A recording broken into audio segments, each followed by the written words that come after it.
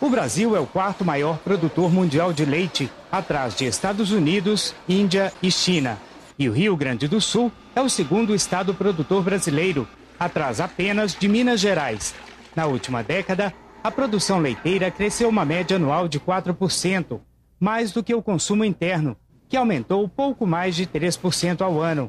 Os participantes da audiência pública enfatizaram o desafio que o Brasil tem hoje de incentivar o consumo de leite no país e de buscar novos mercados no mundo para evitar a queda do preço. Aqui, nessa audiência pública, está se criando um centro tecnológico lácteos dentro da Unijuí, a Universidade de Juí, que é uma das universidades comunitárias de maior respeito. Então é muito importante essa audiência. Veja que em fevereiro nós estamos vivendo uma crise muito aguda da questão do leite. Preços muito baixos, produtor desassistido, produtor sofrendo as consequências e ainda uma operação. Os palestrantes também ressaltaram a necessidade de pesquisa e inovação na cadeia produtiva do leite.